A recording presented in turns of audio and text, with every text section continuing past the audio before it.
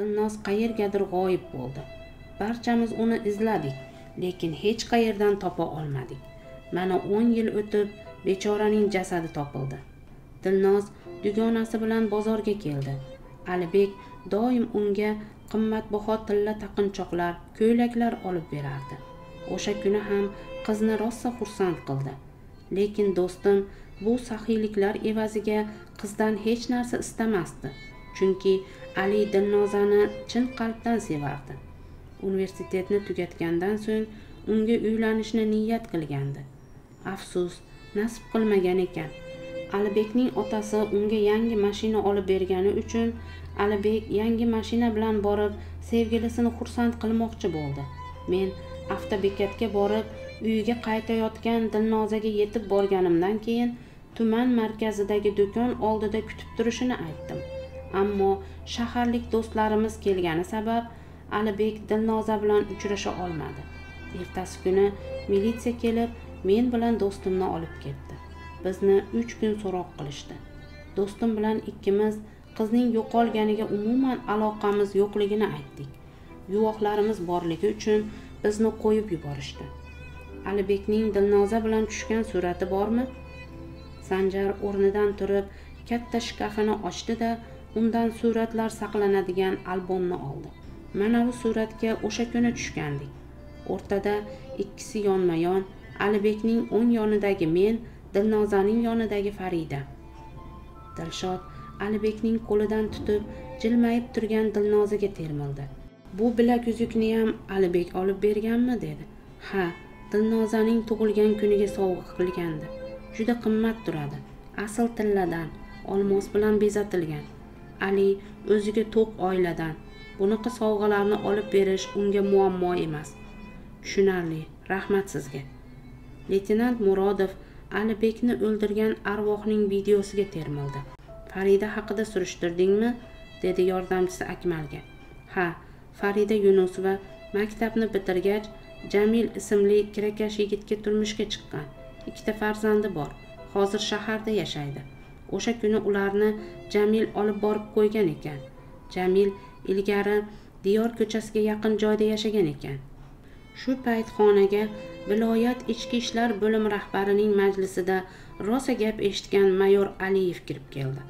Ilgarigi hazilomuz kayfiyatidan asar ham yo'q ancha asabiy va jiddiy edi. Mana bir oydan oshdi hamki na dilnoza salimovaning na alibek turopovning qotili kimligini aniqlay olmadik dedi yordamchilariga. Qani tergov xulosasi qani aybdor? Rahbarlar bu ishlarni tezroq yopishni talab qilishyapti. Tez orada qotil kimligini aniqlaymiz dedi dilshod. Qachon aniqlaysanlar? Senlarni ishdan quvib solishgandan keyinmi? Ertaga nima? Xuddi shunday o'rtoq mayor ertaga qotilni qo'lga olamiz. Uni kimligini aniqladingmi? Xuddi shunday faqat kimligini hozircha aytolmayman menga ayrim narsalarda yordamingiz kerak. Ya'ni uyni tintuv qilish haqida order olib bersangiz. Yaxshi ammo haqiqiy aybdorni qo'lga olishing kerak. Xo'p bo'ladi. Ertasi kuni leytenant murodov yordamchisi va bir nechta xodimini olib farida yunusovaning kvartirasiga bordi. Eshikni faridaning eri jamil ochdi. Xush xizmat dedi jamil sovuqlik bilan. Men shahar ichki ishlar bo'limidan leytenant murodovman o'zini tanishtirdi dilshod. Uyingizni tintuv qilishga ruxsatnomamiz bor. Nima? Biz nima qildik? Dovdirab qoldi jamil. Hozir aytaman nima qilganingizni. Dilshod va militsiya xodimlari uyga kirishdi. Tinchlikmi aka? dedi jamil qo'rquvdan titrab. Xotiningiz uydami? Ha uyda. Chaqiring. Farida? Hov farida.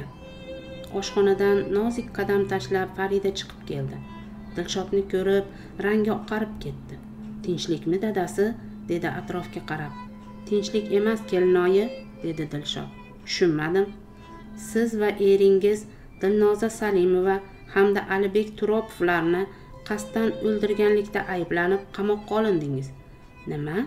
Yolg'on ayblov uchun yaxshigina jazo berishlarini bilasizmi? dedi farida chimirilib. Bilaman. Lekin sizni yolg'on ayblov bilan bezovta qilayotganim yo'q. Siz farida opa eringiz jamil aka bilan qabih jinoyatga qo'l urgansiz. Birinchi dilnozadan boshlaymiz. Siz marhumaning eng yaqin dugonasi edingiz. Ammo boylik va pulga bo'lgan hirsingiz sabab o'z dugonangizni o'ldirishdan ham qaytmagansiz. O'sha kuni alibek dilnozaga tilla taqinchoqlar olib bergan. Bu taqinchoqlar ayniqsa mana bu qo'lingizdagi tilla bilaguzuk aqlingizni olib qo'ygandi. Farida sekin o'ng qo'li bilan chap bilagidagi bilaguzukni ushladi. Turmush o'rtog'ingiz jamil kirakash bilan til biriktirib dilnozani tashlandiq joyga olib borib shafqatsizlarcha o'ldirgansiz. Sho'rlik qizning tilla taqinchoqlarini yechib olgansiz. Jinoyatni yashirish maqsadida dilnozani o'sha tashlandiq yerga ko'mib tashlagansiz. Alibekning uchrashish haqidagi gaplaridan xabardor edingiz. Sizni unga o'xshatishlari uchun dilnozaning ko'ylagini kiyib sochingizni dugonangiznikidek turmaklab olgansiz. Tuman markazidagi do'konga borib ozgina kutib o'tirgan kishi bo'lgansiz. Keyin uyingizga ketgansiz. Shu tariqa barcha dilnoza do'kon oldida alibekni kutib o'tirgan degan taxminga borishi aniq edi. Siz esa barcha aybni yigitning bo'yniga ilmoqchi bo'lgansiz. Ketganingizdan so'ng alibek kelishi kerak edi lekin baxtga qarshi u kelmadi. Garchi jinoyatni alibekka to'nkay olmagan bo'lsangiz ham o'zingiz gumondan xoli bo'ldingiz. Ammo oradan o'n yil o'tib alibek sizni ishxonasi yaqinida ko'rib qoladi. Qo'lingizdagi bilaguzukni darrov taniydi chunki bu qimmatbaho tilla bilaguzukni dilnozaga shaxsan o'zi sovg'a qilgan. Shu bilaguzuk sabab siz bilan bir necha marta janjallashadi. Buni ko'rgan guvohlarimiz bor. Bu orada o'lganni ustiga tepgandek dilnozaning jasadi topildi. Endi siringiz fosh bo'lishi aniq edi. Alibek sizga qarshi ko'rsatma bersa barchasi tamom. Shu sabab alibekdan qutulish choralarini izlay boshlagansiz. Dilshod faridaga qarab biroz jimib qoldi. Sizni ilk bor disk sotiladigan do'konda ko'rgandim. Qizil ko'ylakda edingiz. Do'kondan qo'rqinchli yapon filmlari yozilgan diskni sotib olgandingiz.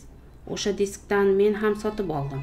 Filmlarning biridagi sahnalar alibekning tomidagi arvoh video tasvirlariga juda o'xshab ketadi. Siz o'sha filmdagidek grim qilib tunda alibekning uyiga arvoh bo'lib borgansiz. Uyda hech kim yo'qligidan foydalanib alibekni ham pichoqlab o'ldirgansiz. Bu ishda albatta eringiz jamil sizga yordam bergan. Shu tariqa bilaguzukni ko'rgan guvohdan xalos bo'lgansiz. Ammo alibek yagona guvoh emas edi. O'sha do'konda qo'lingizdagi bilaguzukni men ham ko'rgandim. Kuni kecha dilnozaning ushbu bilaguzukni taqib tushgan suratini ko'rib bu tilla buyum qanday qilib sizning qo'lingizda paydo bo'lib qolganiga qiziqdim. Oxir oqibat barcha jinoyatlaringiz fosh bo'ldi. Qoyil lekin bularning barchasi sizning uydirmalaringiz. Bizni ayblashga dalil isbotingiz yo'q dedi farida. Shu payt militsiya xodimlaridan biri qo'lida yelim xaltada solingan uzun o'tkir pichoqni olib keldi.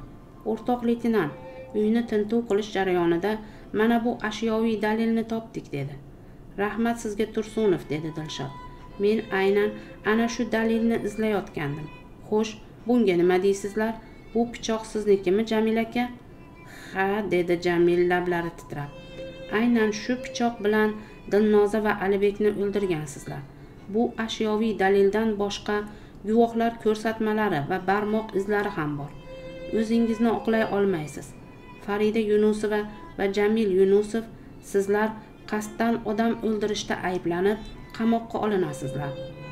Men dilnozni yaxshi ko'rardim uni o'ldirmoqchi emasdim dedi farida yig'lamsirab. O'sha paytlarda jamil akam ijaraga mashina olib haydardilar. U kishi mashina olmoqchiman shunga ozgina pul yetmayapti degandilar. Shuning uchun bu o'zingizni oqlashga bahona bo'la olmaydi. Yosh bolalaringiz bor ekan. Afsus akmal er xotinning qo'liga kishan soldi.